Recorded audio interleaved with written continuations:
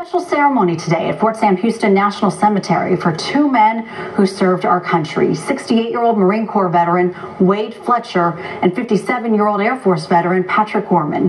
Both men are considered unaccompanied veterans, meaning they left no next of kin but still earned the right to a proper military burial. I'm Emily Baucom, and that's your news in a minute.